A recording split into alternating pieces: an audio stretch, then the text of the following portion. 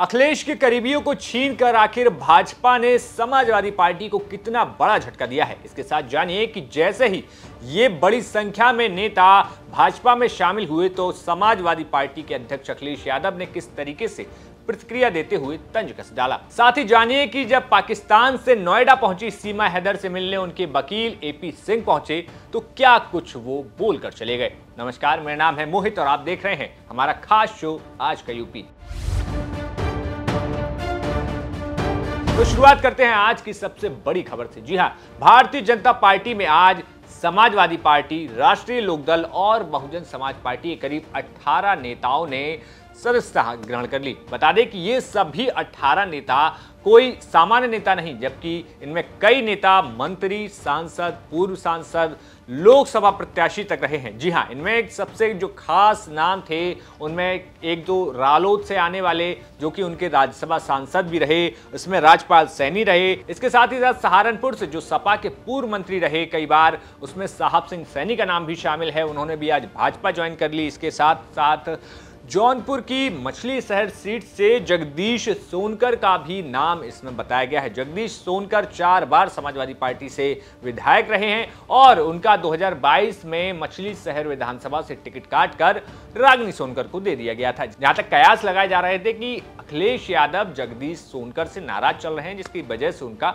इस बार ticket cut गया। इसके साथ ही साथ अगर और नामों की चर्चा करें तो हरदोई से सपा के पूर्व सांसद अंशुल वर्मा, जौनपुर से सपा के पूर्व विधायक सुषमा पटेल, जौनपुर से सपा की पूर्व विधायक गुलाब सरोज। इसके साथ ही साथ 2019 के लोकसभा चुनाव में पीएम मोदी के खिलाफ सपा के प्रत्याशी के तौर पर लड़ने वाली शालिनी यादव ने भी आज भारतीय जनता पार्टी ज्वाइन कर ली, जो कि एक बहुत बड़ा झटका समाजवादी पार्टी के लिए माना गया है। इसके साथ ही साथ जहाँ सपा और आरएलडी के नेताओं ने तो भाजपा ज्वाइन की ही की, लेकिन बसपा से भी दो नेताओं ने भाजपा की तरफ़ अपना हाथ बढ़ा दिया। अगर इनकी नामों की चर्चा करें तो आगरा में बसपा के पूर्व चेयरमैन, जिला सहकारी बैंक के गंगाराम कुशवाहा ने आज भारतीय जनता पार्टी ज्वाइन की। तो उनके साथ ही आगरा से ही बसपा के पूर्व विधानसभा प्रत्याशी रवि भारद्वाज भी भाजपा में शामिल हो गए। इन सभी की सदस्यता भाजपा में दोनों डिप्टी सीएम और प्रदेश अध्यक्ष की मौजूदगी में हुई। अब बढ़ते हैं अगली खबर की तरफ़। अगली खबर भी इन्हीं नेताओं के इर्द गिर्द और लखनऊ की सियासत से जुड़ी हुई है।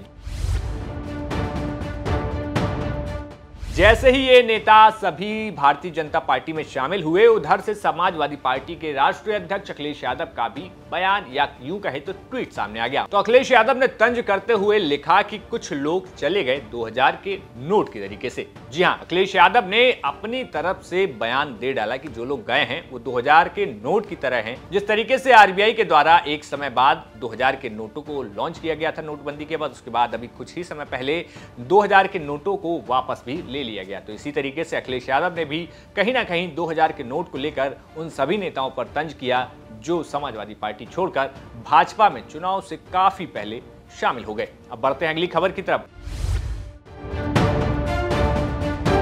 अगली खबर जुड़ी हुई है सीमा हैदर से। जी हाँ, सीमा हैदर से आज उनके रबुपुरा नोएडा के इलाके में मिलने के लिए सुप्रीम कोर्ट के वकील एपी सिंह पहुँचे। एपी सिंह जैसे ही पहुँचे तो उन्होंने पहले तो सीमा हैदर उनके परिवार से मुलाकात की। तमाम बातचीत हुई घर के दौरान। बच्चों से भी मिले। बच्चों को यहाँ आप देख सकते हैं तस्वीरों में कि बच्चे माला भी पहने हुए हैं। इस दौरान सचिन के पिता ने एपी सिंह के पैर भी छुए। तो भाई, जैसे ही सीमा हैदर से मिलने के बाद बाहर एपी सिंह आए तो उन्होंने कहा कि जब अदनान सामी अक्षय कुमार को भारत की नागरिकता मिल सकती है तो सीमा हैदर को क्यों नहीं मिल सकती? आखिर सीमा हैदर ने हिंदू धर्म अपना लिया है, हिंदू धर्म के हिसाब से शादी भी कर ली है, और इस्लाम में तो जो व्यक्ति धर्म परिवर्तन कर ले या मूर्ति पूजन करे तो वो तो काफिर कहलाता है।